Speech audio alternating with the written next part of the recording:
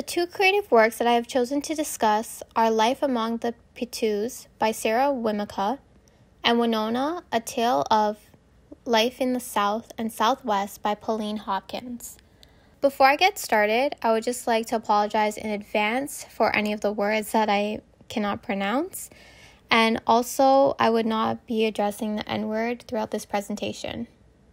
Life Among the Piutes is an autobiographical work written by Native American Sarah Winnemucca. This work describes Sarah's life among the Piute culture and the white culture. Within this story, she incorporates traditions of her Native American people, such as oral traditions and historical events, through her Native American lens. Whereas, in Pauline Hopkins' novel, Winona, she writes about interracial marriage, abduction into slavery, and rescue. This book displays social themes of barriers between whites and dark skinned race. For my topic, I want to discuss how Hopkins and Winnemucca portray the dominant white male from a perspective of a woman. In this case, women are seen as a minority. Both authors are women, one Native American and the other African American, in comparison to the dominant white male. Furthermore, I want to focus on how both authors display their structure and narrative perspective through their own lens within the story. I also want to draw attention to how the white power can also be seen as helpful to the minorities. This can also be seen in Winona. The question I want to answer is how does Hopkins and Winnemucca display white dominant masculinization in the US West using structure, character relations, and narrative perspective? So, my developing thesis that I will be focusing on is how Hopkins and Winnemucca display the white dominant masculinization in the US West using structure, character relations, and narrative perspective.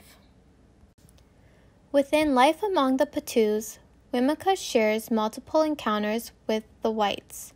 At the beginning of the story, her grandfather views the whites as his brothers. She, however, takes a while to warm up to the whites as she sees them as scary people who eat humans. Winnemucca and her tribe is constantly moving between their own land and the white people's land. An example that I will use of how the whites treated Winnemucca is well, while we were in the mountains hiding, the people that my grandfather called our white brothers came along to where our winter supplies were. They set everything we left on fire. It was a fearful sight. It was all we had for the winter, and it was all burnt during that night.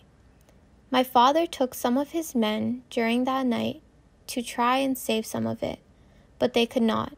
It had burnt down before they got there. This example shows the extreme measures that Sarah and her family went through. Her grandfather sees the whites as his brothers but are portrayed as an enemy through Sarah's eyes as they burnt down all their supplies, thus showing the white dominance over the Native Americans. Within Winona, both Winona and Judah are treated as slaves when Thompson takes them to his place. Winona is half white and native black, while Judah is black, both being the minorities in comparison to the white dominant male. Both Judah and Winona are mistreated by Thompson and the colonial, whereas Warren is a white male and ends up risking his life for Winona. We do see in this tale that Warren is a white male character, but he's on the side of the minorities, trying to help Judah and Winona get out of slavery. Hopkins talks about how the white man tries to break Judah's happy spirits as a way of owning him as a slave. She states, Into this man's hands Judah was given body and soul. Chapter 4. In other words, Judah is now owned by Thompson, a white man who has control over his happiness and his physical body and puts him to work as a slave. She portrays this white man as cruel, racist, and unfair. The literary devices I am considering are colloquialism, Imagery and tone. Within Hopkins' novel Winona, colloquialism is used as she uses informal and slang language to determine the white male. This provides more authenticity within Hopkins' writing to give the characters a Western American accent. This goes along with how Hopkins writes her own narrative perspective. Imagery Within Life Among the Piutes and Winona, both authors are very descriptive when they are on the whites' territory. In Life Among the Piutes, Winnemucca describes her experience and the clothes and items the whites give her and her family when they go to the camps. The novel Winona is very descriptive as well of how the whites see the slaves within America compared to England. Finally, tone. Both authors share their story as a journey with light at the end of the tunnel. Although it is a struggle, both characters in each novel grow through hardships, with them being the minority in comparison to the white males, and ends up breaking free. Secondary sources. So far, I found an article called We Are Going to Take That Right Power and Plagiarism in Pauline Hopkins Winona by JoAnn Pavletich. Within this article, it talks about how Hopkins uses plagiarism. Hopkins drew from other writers while combining her own idea of political conquest of the white dominant male. I think this will be a useful source to show how Hopkins displays her narrative perspective, being a black woman writing from both interracial identity and white males. I also believe it will help talk about how she develops character relations within the novel.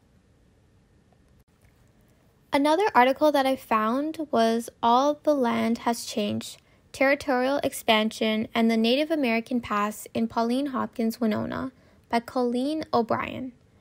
This essay identifies echoes of what Hopkins perceived to be Native American culture. She incorporates inheritance and conquest with the foundation of freedom and justice. I can also relate this article to support my thesis with how Hopkins shows the white power over the indigenous and black race. Problems the problems that I'm having is finding secondary sources for life among the Piutes. I tried Google and Google Scholar and I cannot seem to find any. I am still currently searching for articles on the University of Guelph search engine. I already found two articles for Winona, which I mentioned before, that I'm going to use in my essay. I have to find two more articles for Life Among the Piutes. I'm searching for anything related to the author in particular and her thought process upon writing and sharing this autobiography as a Native American.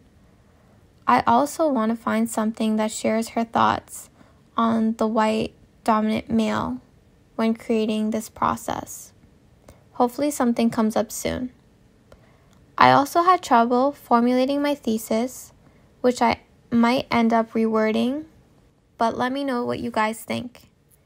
I do want to emphasize on how both Winnemucca and Hopkins grapple with this dominant masculinization in the US West while including territory on both dominant conditions. Through the structure, character relations, and narrative perspective, I believe I can prove my thesis. Thank you for watching my presentation on Life Among the Piutes and Winona, A Tale of Life in the South and Southwest.